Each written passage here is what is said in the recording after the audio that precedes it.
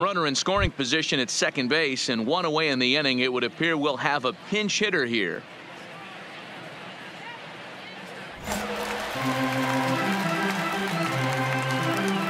Now batting, number 87. Line toward right center. Doherty rounds third and is digging for the plate. He'll score and the Dodgers have drawn even. We are knotted at three. And time will be called here as the pitching coach heads out to the mound and hopefully try and settle this guy down a bit.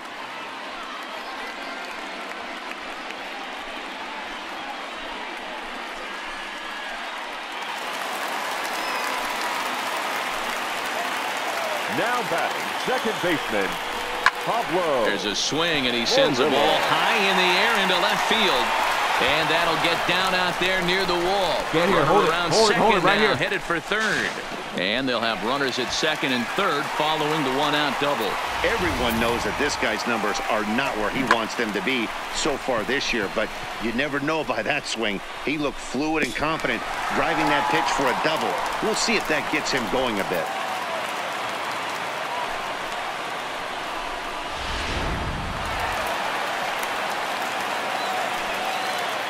The batter, the first baseman, Fernando There's ball four. Sandoval. Yeah, well, when a guy's swinging the bat as well as he's been, this is a smart move. No reason to tempt fate out there. The batter, number three, shortstop, Alex Bregman. Line to the right side.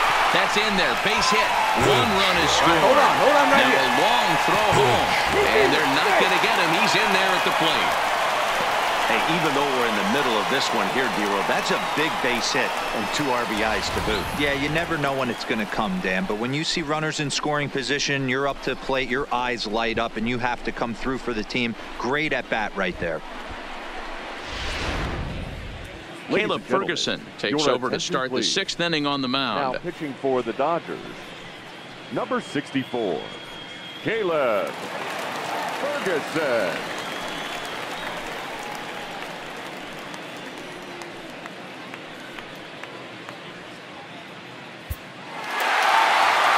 Man, they're making it look awful easy out there. That's nine wins in a row. That's right, nine wins in a row. And by the way they're playing, I see no reason why this streak is going to end anytime soon. They're just playing great baseball. 14 to 9 is the final score here. The Dodgers used a nice fifth inning to take the lead and they never gave it back.